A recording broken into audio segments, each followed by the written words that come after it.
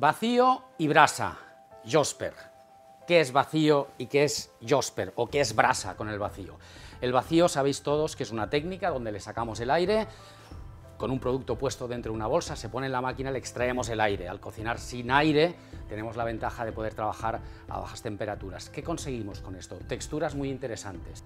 Pero cuando vamos a unir las dos técnicas, vacío y brasa, vacío y Josper, hemos de tener en cuenta una serie de cosas importantes. La textura de la brasa al menos yo personalmente no quiero que sea muy muy tierna. El vacío nos da opciones de dar unas texturas muy tiernas, pero en la brasa a mí me gusta tener un poco más de textura. ¿Qué quiero decir con esto? Que los tiempos y las temperaturas del vacío cuando vamos a trabajar a la brasa son distintas variamos un poco los tiempos y las temperaturas, como veréis a lo largo del, curso, por la sencilla razón que cuando nosotros manipulamos el producto, por ejemplo la espaldita de, cordero, no queremos que se nos desmonte de lo tierna que está, queremos que tenga un poco de textura, que le podamos dar la, vuelta. Vamos a aplicar tiempos y temperaturas algo distinto a lo que sería el vacío eh, tradicional. El Josper, el horno de brasa, ¿qué es este aparato? Este aparato es un horno donde podemos trabajar con leña o con carbón. Normalmente trabajamos con carbón, de buenas calidades, pero con carbón. ¿Qué tiene este aparato, si se lo podemos llamar así? Tenemos una caja donde vamos a poner eh, la leña o el carbón, nosotros trabajaremos con, con carbón, pero podemos regular la temperatura. ¿Cómo? Con los tiros.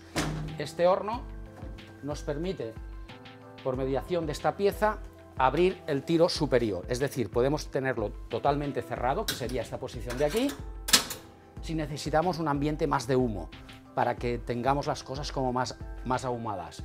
Y podríamos irlo abriendo según las necesidades. Cuanto más abierto está tanto de aquí como el tiro de abajo, que también se puede regular, abierto y cerrado, o más abierto o menos cerrado, dependiendo, con estos dos tiros podemos eh, regular la, temperatura del, del Josper.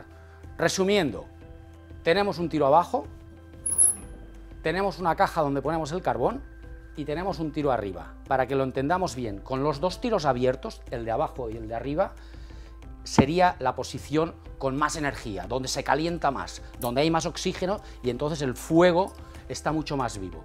Si los paramos, tanto el de arriba como el de abajo, el horno se irá durmiendo, no tiene oxígeno y el carbón irá perdiendo temperatura. Con estos dos tiros vamos a ir jugando dependiendo de lo, que vayamos a hacer y cómo. Para que os hagáis una idea, cuando lo vayamos a encender, como veréis, los dos tiros los necesitamos que estén abiertos, que haya oxígeno para encender el, el, Josper y ponerlo a punto para hacer las elaboraciones que previamente hemos hecho al vacío.